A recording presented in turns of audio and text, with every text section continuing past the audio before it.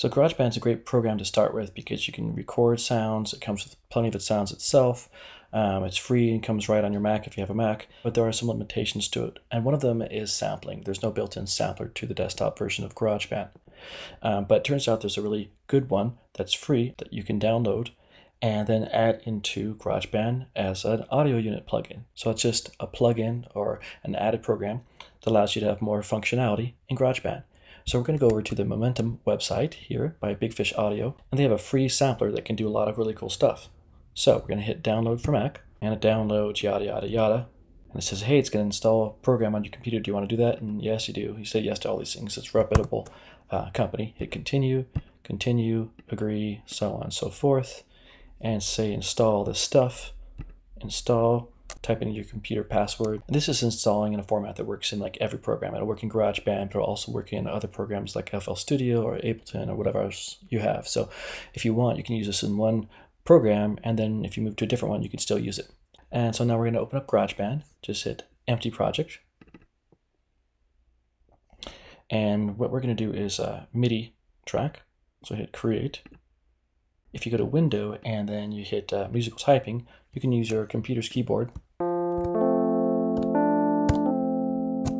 Go to the upper left corner and hit Smart Controls or press B, and it's going to show you the controls for the um, synthesizer, in this case, down below.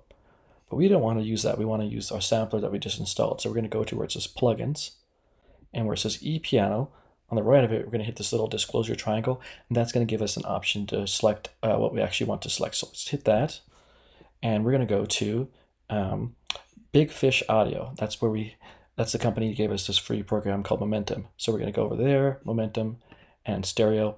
Here goes. Okay, so it has controls over here, um, and the green part here, if we click on it in the middle, has these little um, hamburger style menu things. If we click on that in the middle, it's going to open up the full program. So we do that. Now, if you just got the program, it's actually going to not do this. It's going to give you a screen where you have to log in. Um, so if you if you're already subscribed to them, you can do that. Otherwise, you just create uh, put an email and a password in there, and it'll let you log in. The main thing though is this screen right here in the middle, right below the words momentum. It says drag samples here. So I've already created a sample set. It's called uh, beatbox.wave.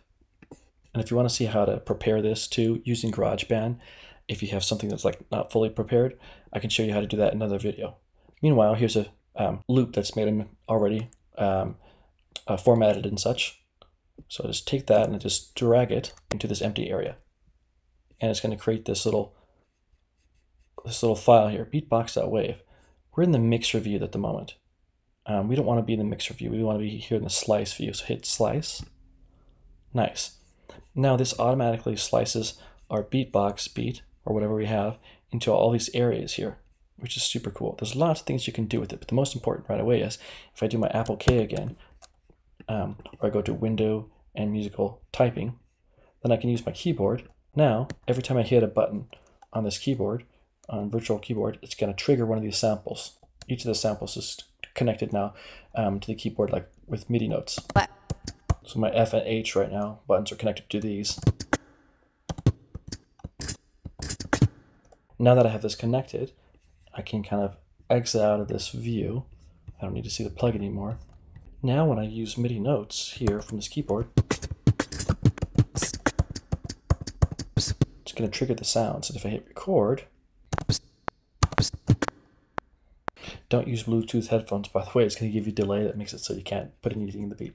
Anyway, so I have this stuff here. Now it's recorded as MIDI triggers that will trigger those samples.